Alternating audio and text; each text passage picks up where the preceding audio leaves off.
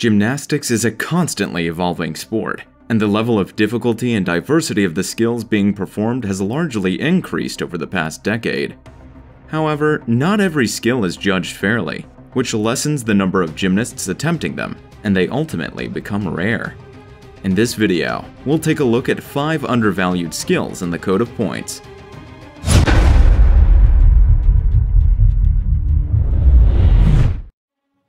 The Seitz also known as a Maloney Full. This uneven bars transition consists of a pike sole circle backward through handstand with flight and a full turn to hang on the high bar.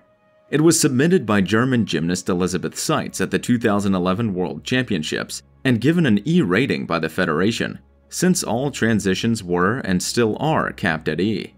The version with no turn is rated D. The one with a half turn is rated E, so it would make sense for the full twisting one to be rated F. However, that's not the case. The current rating doesn't encourage gymnasts to train such an intricate skill, especially since it must be connected to another skill to avoid a dead hang deduction. The Komova 1 The Komova 1 faces a similar scenario as the previous skill. Named after Russian gymnast Viktoria Komova, it consists of a clear pike circle backward through handstand with flight and a half turn to hang on the high bar. She successfully submitted it at the 2010 Youth Olympic Games, and it was also given an E value by the FIG. The reason why this one should be rated higher is because of its root. Throughout the code, in-bar skills are rated a tenth higher than their counterparts from different roots like toe-ons, stalders, and clear hip circles.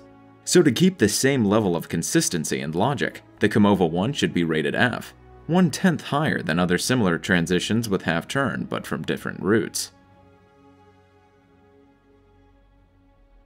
The Sheep Jump The sheep jump is one of the most technically challenging skills in the Code of Points. Its requirements include hip extension, upper back arch, and head release with feet to the crown of the head. In 2017, this dance element was downgraded from a D to a C.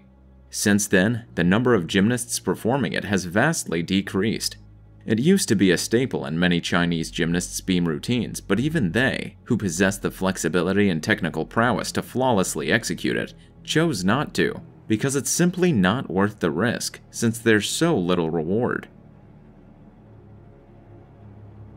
3 and a half twist. This F-rated acrobatic skill consists of a salto backward in a stretched position with three and a half rotations. The double twist is valued at C, the two and a half at D, and the triple twist at E, so technically, it makes sense that three and a half is rated F. But when compared to a double layout, which carries the same value and it's easier for most gymnasts, is it really worth the risk? The three and a half requires a huge amount of power it has a forward landing which makes it harder to stick. It's riskier for the knees and ankles due to the possible under-rotation of the landing, and is prompt to twisting form deductions like crossing the legs or feet. Some gymnasts have connected a front tuck to the 3.5.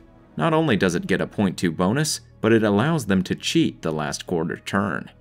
In most cases, they are still twisting when they hit the floor and begin the forward salto, which can potentially lead to injuries a G rating would actually be justifiable.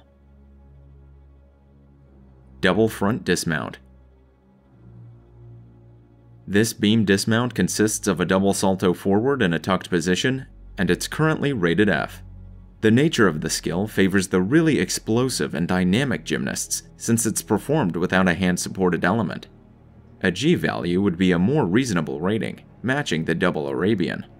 On floor, both skills have the same E rating, but on beam, one is valued higher than the other.